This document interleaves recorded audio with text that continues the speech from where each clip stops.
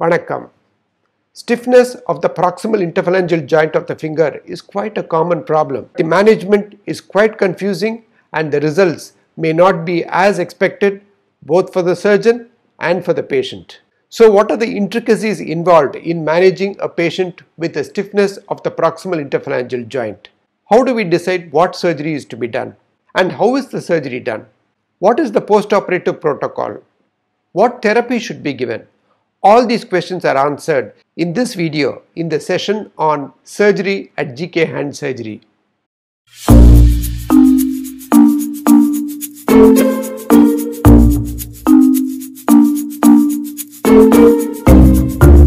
We are going to discuss today in this video a patient with a stiffness of the proximal interphalangeal joint of the finger in extension and see the surgical management of such a condition. We shall first see the details about the case, then see how the decision has been made to arrive at the surgical plan, then how the patient was counseled about the surgery, the requirements for the surgery, the markings for the incision to be made, the anesthesia that's given, the actual procedure per se and the nuances of the procedure and finally the post-operative protocol that was followed for this patient.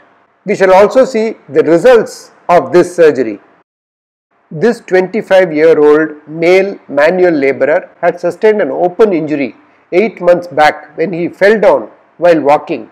A diagnosis of a dislocation of the PIP joint of the little finger on the right hand was made and this was treated with reduction of the dislocation and K-wire fixation of the joint and skin suturing.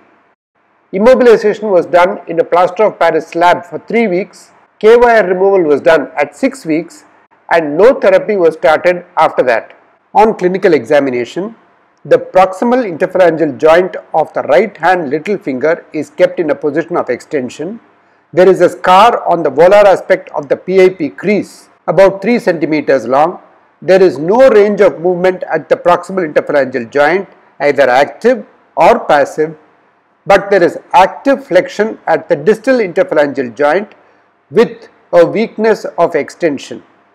The metacarpophalangeal joint of the little finger, the range of movements is full. The other fingers and thumb are intact. Plain X-ray of the right hand shows a narrowed joint space at the level of the proximal interphalangeal joint of the little finger and the articular surface is not intact as it appears very irregular. So the clinical diagnosis as we have seen it is a post-traumatic sequelae resulting in stiffness of the proximal interphalangeal joint in extension on the right hand little finger involving the dominant hand in a 25 year old manual laborer and the problem has been of 8 months duration. So now we need to take a decision about what is to be done to correct this problem and we shall see the thought process by which we take a decision. But before that, we shall see the basics about proximal interphalangeal joint stiffness so that we can get an idea in which direction we need to go. Because a PIP joint stiffness can result from a problem of the capsule or the volar plate of the joint or even a skin contracture restricting the extension or flexion or even a tendon shortening restricting the extension or flexion in certain positions. So this means that we can have two types of proximal interphalangeal joint stiffness in the finger. PIP stiffness in flexion and PIP stiffness in extension. Stiffness of the PIP joint in flexion is the more commonly seen problem and this could occur due to the anatomical involvement of any of the following structures. The skin and the fascial coverings of the finger which when contracted may lead to stiffness, shortening of the flexor tendon, contracture of the volar plate resulting in flexion contracture or shortening of the collateral ligaments of the PIP joint or bony ankylosis at the level of the middle phalanx and proximal phalanx and finally injury to the central slip which has not been treated at all can result in a stiffness of the proximal interphalangeal joint. And the involvement of these structures that we have spoken about can occur in post-burn contractures, post-traumatic stiffness, Volkmann's ischemic contracture or conditions like Dupuytren's contracture also. On the other hand, PIP joint stiffness in extension can occur due to the anatomical involvement of any of the following structures like neglected flexor tendon injuries resulting in stiffness in hyperextension of the PIP joint or collateral ligament contractures or scarring and involvement of the extensor tendons on the dorsum of the hand or even the contracture of the skin on the dorsum of the finger. These conditions can occur in post-burn contractures, post-trauma stiffness as has been seen in the patient under discussion or even in conditions of arthritis. Now we have seen the different conditions and ways in which the proximal interphalangeal joint can be affected. Let us now see what are all the options available for treating these conditions of the joints. The first modality of treatment for any joint problem involving the proximal interphalangeal joint should be therapy. Only if therapy has been given and has failed or is contraindicated, we think of the surgical options. When we come to surgical options, there are mainly three options for management of any joint involvement. They are arthrolysis, arthroplasty and arthrodesis. Let us see what these are before we can plan the management for our patient. Arthrolysis refers to release of the scar around the joint. It needs immediate mobilization to prevent the scarring from occurring again and it may need to be combined with tenolysis. So when there is a scar like this around the joint causing the stiffness, when it is released, we can get back the movements of the joint. The indications for arthrolysis are when there is no bony or joint injury, and the joint space is present and usually arthrolysis is indicated for flexion contractures of the proximal interphalangeal joint following prolonged immobilization. But when the joint surfaces are damaged or destroyed and the joint space is narrowed or completely lost, the soft tissue envelope may be intact or scarred. For instance, in conditions like post-traumatic osteoarthritis or even rheumatoid arthritis, the damaged joint surface needs to be removed and the joint reconstructed again. This is known as arthroplasty and this can be done by three methods. When the gap between the bones is left as such and allowed to function as a pseudo joint, it is known as gap or excision arthroplasty. But the problem with excision arthroplasty is that the bone ends can get fused again. This can be prevented by interposing some soft tissue between the two ends of the bone and this is known as interposition arthroplasty. And the third method of reconstruction of the joint would be to replace that joint with either a biological structure which may be vascularized or non-vascularized or a synthetic joint. This replacement may involve both or either of the joint surfaces. When there is extensive involvement of the joint surfaces, it may not be possible to get back the movements in the joint again. In such situations, all movements have to be prevented by causing a bony fusion and this is known as arthrodesis. This surgery is indicated when the joint has been destroyed completely and the soft tissue envelope is scarred or lost and most importantly if pain is the main complaint. After going through the basics of the decision making process, we come back to making a decision for the patient under consideration. The problems in this patient are there is a stiff PIP joint of a single finger in extension. The etiology has been a dorsal dislocation which had been reduced and fixed in extension.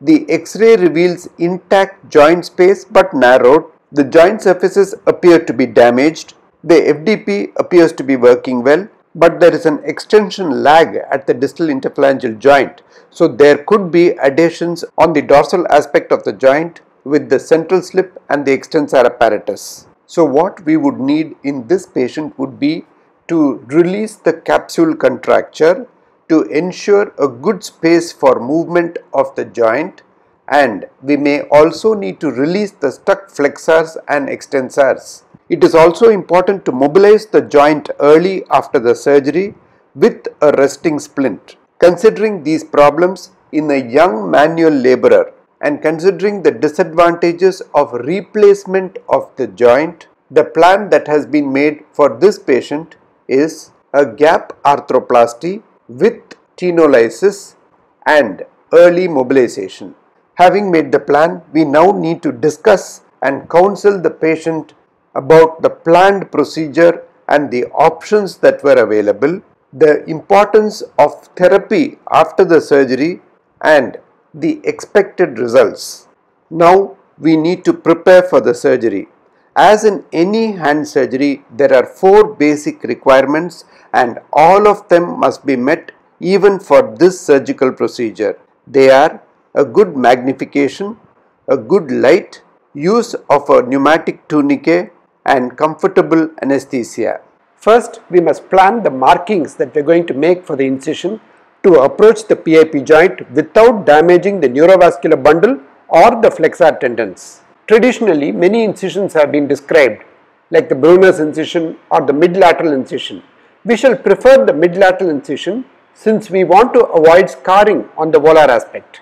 Having planned to make a neutral line incision, the question is which side are we going to do it on, on the ulnar side or the radial side. So the point to remember here is that we need to make the incision on the non-contact side of the finger. When we consider the fingers, the radial aspect of the index finger, middle finger and ring finger and the ulnar aspect of the little finger are the contact sides.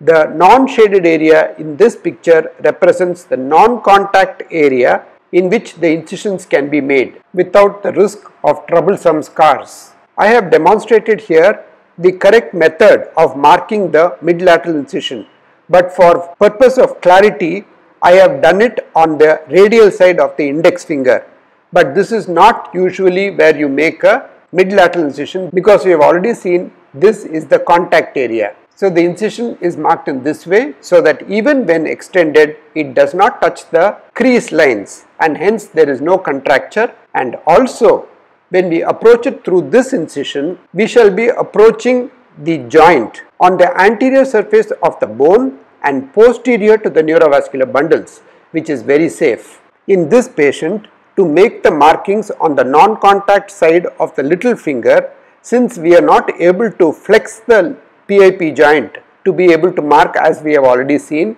I am making the incision, I am making the marking at the junction of the slightly darker dorsal skin with the volar skin.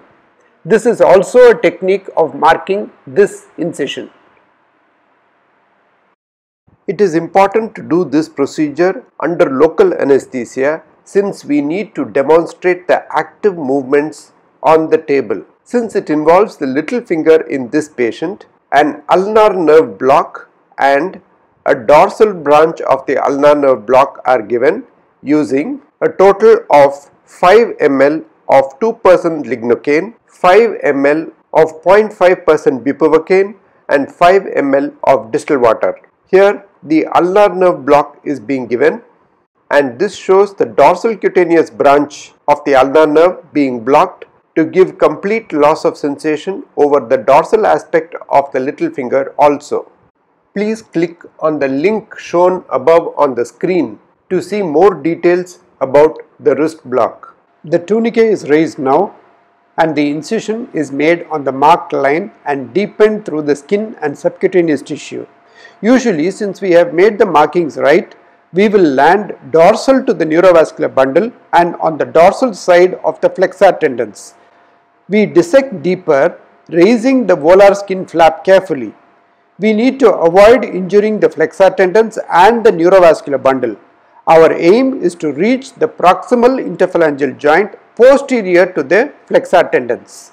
We can identify the joint by one of the two methods.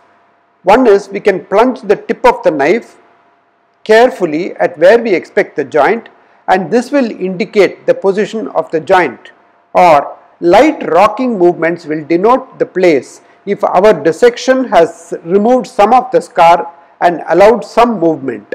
Now we need to release the volar part of the capsule or collateral ligaments and at the same time the dorsal part of the capsule must be released taking care to avoid injuring the central slip which is very closely applied to the dorsal aspect of the capsule. Once all the ligaments are divided then by what is known as the shotgun approach the degenerated base of the middle phalanx and head of the proximal phalanx are exposed.